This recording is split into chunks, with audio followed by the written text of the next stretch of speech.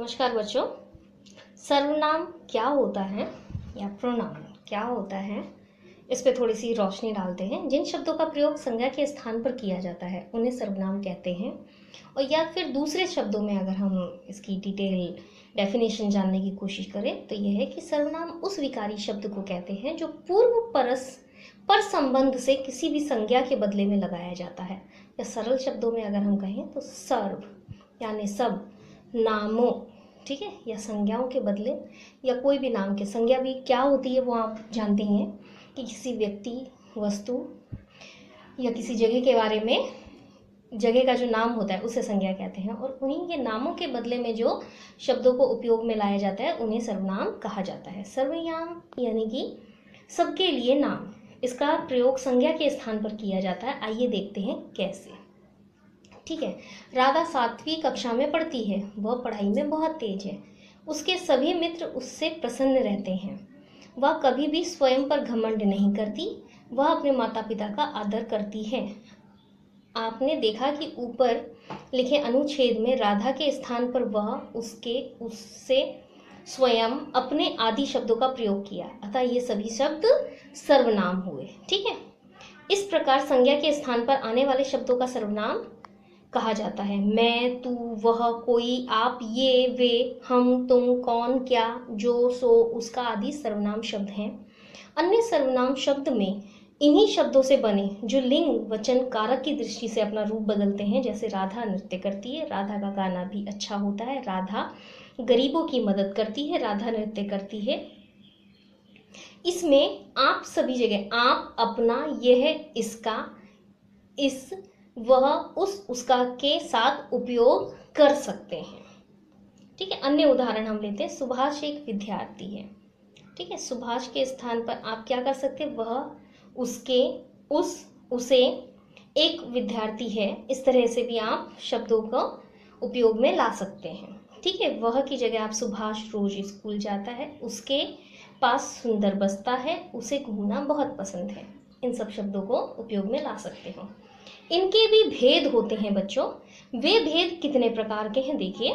पुरुषवाचक सर्वनाम, निश्चयवाचक सर्वनाम, अनिश्चयवाचक, संबंधवाचक, प्रश्नवाचक और निजवाचक सर्वनाम होते हैं।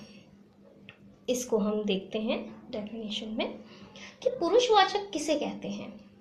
सर्वनाम किसे कहा जाता है? जिन सर्वनाम शब्दों से व्यक्ति का बोध होता है उन्हें पुरुषवाचक सर्वनाम कहा जाता है, बोलने वाले, सुनने वाले तथा जिसके विषय में बात होती है। उनके लिए अगर ये सर्वनाम पुरुषवाचक सर्वनाम कहलाते हैं, ठीक है? दूसरे में,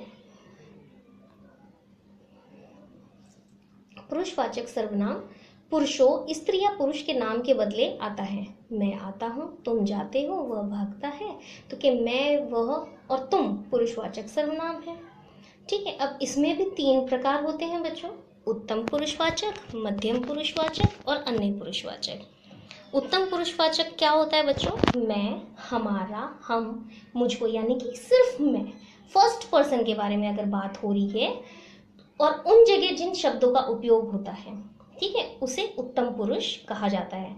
जैसे कि आप देख सकते हैं, जिन सर्वनामों का प्रयोग बोलने वाला अपने लिए करता हो, यानी कि मैं फ़र्स्ट पर्सन करता हो, वो कहलाता है। जैसे कि उदाहरण, मैं स्कूल जाऊँगा, हम मतदान नहीं करेंगे, ये कविता मैंने नहीं मैंने लिखी, बारिश में हमारी पुस्तकें भीग गईं, मैंने उसे धोखा नहीं दिया। अब आता है मध्यम पुरुष, यानी कि सेकंड पर्सन जिन सर्वनामों का प्रयोग सुनने वाले के लिए किया जाता हो, उन्हें मध्यम पुरुषवाचक कहते हैं। जैसे तू, तुम, तुम्हें, आप, तुम्हारे, तुमने, अपने आदि। उदाहरण के बतौर पे तुमने गृह कार्य नहीं किया। तुम सो जाओ, तुम्हारे पिताजी क्या काम करते हैं? तू घर देर से क्यों पहुँचा? तुमसे कुछ काम है। और अन्य पुरुष, यानी कि थर्ड पर्सन अगर हम बात करते हैं, आप लोगों ने ये सब चीज़ें संस्कृत में पढ़ी होंगी बच्चों। जिन सर्वनाम शब्दों का प्रयोग किसी अन्य व्यक्ति के लिए किया जाता हो उन्हें अन्य पुरुषवाचक कहा जाता है। यानी कि थर्ड पर्सन के लिए हम किसी और की बात, किसी तीसरे व्यक्ति को बता रहे हो तब। ठीक है? वे, यह, वह, इनका, इन्हें, उसे, उन्होंने, इनसे, उनसे आदि शब्दों का प्रयोग होता है। वे मैच नहीं खेलेंगे। उन्होंने कमर कस ली है। वह कल विद्यालय नहीं आया था। उसे कुछ मत कहना। उन्हें रोको, मत जाने दो।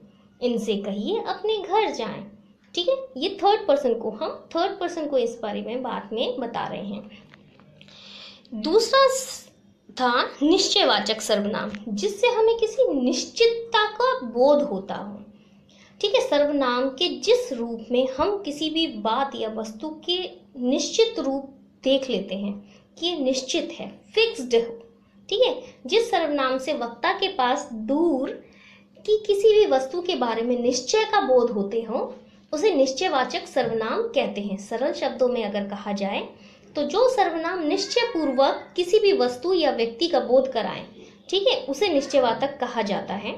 यह, वह, ये, वे आदि, ठीक है, तनुज का छोटा भाई आया है। यह बहुत समझदार है, ठीक है। किशोर बाज़ार गया था। वह लौट आया है। यहाँ पे वह जो है, वो सर्वनाम है, लेकिन यहाँ पे किशोर, एक फिक्स व्यक्ति के बारे में बात हो रही है बच्चों। तनुज का छोटा भाई आया है, यह। यह भी यहाँ पे सर्वनाम है, लेकिन तनुज के बारे में बात हो रही है तो कोई फिक्स्ड पर्सन के बारे में अगर बात हो तो उसे निश्चयवाचक सर्वनाम कहा जाता है। अनिश्चयवाचक की बात हो रही है तो नाम से ही पता चल रहा है कि अनिश्चय, निश्चय जिसको हम नहीं कर पाए, जो निश्चित ना हो, जिस सर्वनाम शब्द से किसी निश्चित व्यक्ति या वस्तु का बोध ना होता हो, उसे अनिश्चयवाचक सर्वनाम कहते हैं। दूसरे शब्दों में, जो सर्वनाम किसी वस्तु या व्यक्ति के और ऐसे संकेत करें कि जिससे उनकी स्थिति अनिश्चित या अस्पष्ट रहे, उसे अनिश्चयवाचक सर्वनाम कहता है। जैसे कोई, कुछ किसी आदि से। जैसे मोहन आज कोई तुझसे मिलने आया था, वो कोई भी हो सकता है। उसके चाचा, मामा, नानी, नाना, अंकल, काका, कोई भी। पानी में कुछ गिर गया है, अब कुछ गिर गया है। कुछ भी हो सकता है, दूध भी हो सकता है, कोई पाउडर हो सकता है, कोई सर्फ हो सकता है, साबुन हो सकता है, या फिर कुछ भी। ठीक है, कोई जैसे तुम कह सकते हो कि मुझे रसना घोलना है तो रसना का पाउडर भी गिर सकता है। यहाँ कोई और कुछ व्यक्ति और वस्तु का अनिश्चय बोध कराने वाले अनिश्चय सर्वनाम सर्वनाम है। संबंधवाचक सर्वनाम, जिससे हमें, जैसे नाम से आपको पता चल रहा है, संबंध जिस चीज़ को जोड़ता हो, संबंध हमें जहाँ दिखाई देता हो, जिन सर्वनाम शब्दों को दूसरे सर्वनाम शब्दों से संबंध का ज्ञात होता हो, वहाँ पे वो शब्द व्यक्तियों को, वाक्यों को अगर जोड़ते हैं तो उनमें संबंध सर्वनाम कहा जाता है, संबंधवाचक। दूसरे शब्दों में अगर हम कहें तो जो सर्वनाम वाक्य में प्रयुक्त किसी अन्य सर्वनाम से संबंधित हो, उन्हें संबंधवाचक सर्वनाम कहते हैं। जैसे कि जो, जिसकी, सो, जिसने, जैसा, वैसा आदि। वाक्यों का प्रयोग करके देखते हैं बच्चों, जैसा करोगे, वैसा भरोगे। तो जैसा और वैसा एक तहली के दो पहलू हैं, जिसकी लाठी उसकी भैंस, ठीक है? लाठी भी उसी की रहेगी जिसकी भैंस होगी। उपयुक्त वाक्यों में वैसा का संबंध जैसे के साथ है और उसकी के साथ उसकी भैंस और जिसकी लाठी वाला जो शब्द है, जिसकी के साथ में उसकी है, ठीक है? सर्व, प्रश्नवाचक सर्वनाम। प्रश्नवाचक जो सर्वनाम सवाल पूछने के लिए प्रयुक्त होते हैं, जैसे क्यों, कौन, क्या, किसने आदि। ठीक है, अगर हम देखते हैं, सरल शब्दों में भी कहा जाए कि जिसमें हमें प्रश्न पूछता हुआ नज़र आए, उस शब्द को हम क्या कहेंगे? प्रश्नवाचक। नाम से ही बच्चों पता चलता है कि ये प्रश्नवाचक ही है। टोकरी में क्या रखा है? क्योंकि प्रश्न पूछा गया भाई हमसे। बाहर कौन खड़ा है? तुम क्या खा रहे हो?